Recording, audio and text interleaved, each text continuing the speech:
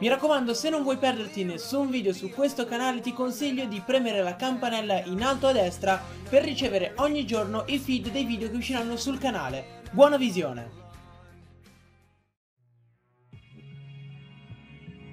Oggi ragazzi dopo aver parlato in maniera più che esaustiva dei più recenti trailer di Pokémon Ultrasole e Pokémon Ultraluna Torniamo un attimo indietro nel tempo per fare un piccolo approfondimento riguardo alle due nuovissime ultracreature rivelate Ossia UC Structura ed UC Fragor Tentando di indovinare tramite varie supposizioni quale sarà il loro tipo all'interno dei prossimi giochi Iniziamo col dire che questi due Pokémon hanno alcune peculiarità, sono di fatti due ultra creature introvabili nella stessa versione, in quanto UC Structura sarà presente solo in Pokémon Ultra Luna, mentre UC Fragor sarà un'esclusiva di Pokémon Ultra Sole, ricevendo entrambi un po' lo stesso trattamento di Buzzwole e Firomosa, e anzi, secondo alcuni frame del trailer, forse sostituendoli addirittura all'interno del gioco stesso ma la faccenda a questo punto sembrerebbe un po' più complicata del previsto. Difatti le due ultracreature di Sole e Luna hanno lo stesso tipo sia con le 8 Rolotta che comunque bene o male li rispecchia in un certo senso,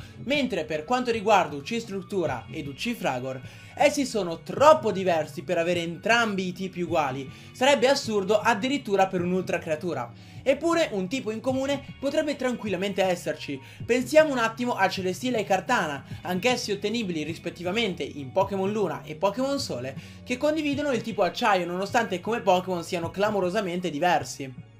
Quindi in definitiva i due Pokémon avranno un tipo che li accomuna. Considerando che il tipo acciaio in Celestile e Cartana sarebbe comunque intuibile in teoria, possiamo tentare di svolgere lo stesso ragionamento con le due nuove ultra creature. Ad esempio possiamo notare come all'interno di UC Struttura vi siano degli esseri particolari o comunque un qualcosa che sembra in un certo senso comandare la struttura stessa, darle vita, una struttura che di certo non può muoversi da sola a caso, sarebbe una cosa totalmente priva di senso, mentre UC Fragor è un Pokémon che presenta le caratteristiche che potrebbero essere ricondotte più o meno ad un Pokémon di tipo folletto, oppure, ancora meglio, Psico. Considerando le due analisi fatte dei due Pokémon, possiamo supporre che il tipo che avranno in comune sarà proprio il tipo Psico. Fatto ciò, beh, per determinare gli altri due tipi può essere utile partire dal nome stesso dell'ultra creatura. UC Struttura, come dice il nome, è un edificio e per quanto il dubbio tra lo scegliere il tipo roccia o il tipo acciaio per manga,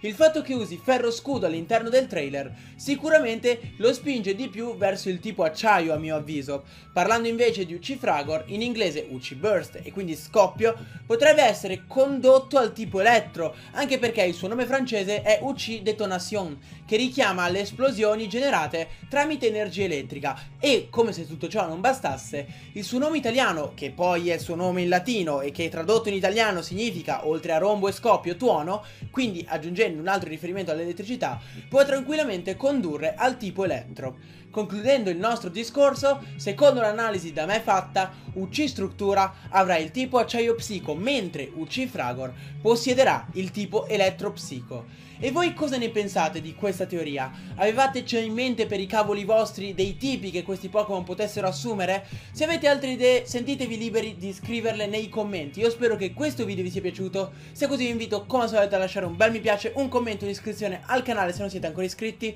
Mi raccomando passate dai social per rimanere sempre in contatto con me E premete la campanella per ricevere ogni giorno i feed. Detto ciò ragazzi noi ci becchiamo in un prossimo video